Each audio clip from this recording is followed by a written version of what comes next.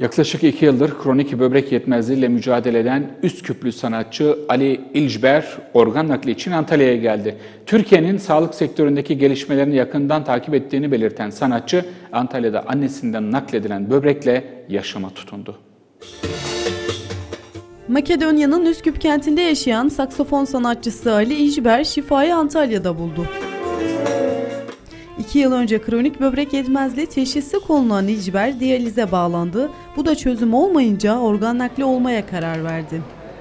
İjber'in annesinin bağışçı olması üzerine gerçekleşen operasyonla annesinden alınan böbrek sanatçıya nakledildi.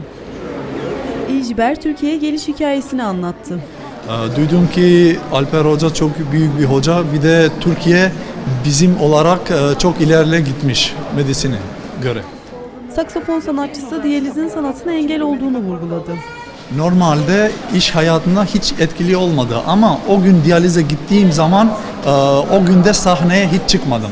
Yani Fedakar anne Umran İjber oğlunun sağlığına kavuşmasının sevincini yaşıyor. hiçbir şey diyor düşünmedim. Sadece benim oğlum iyi olsun. Çok mutluyum diyorum. O mutluluğu hiç kimseye söyleyemem.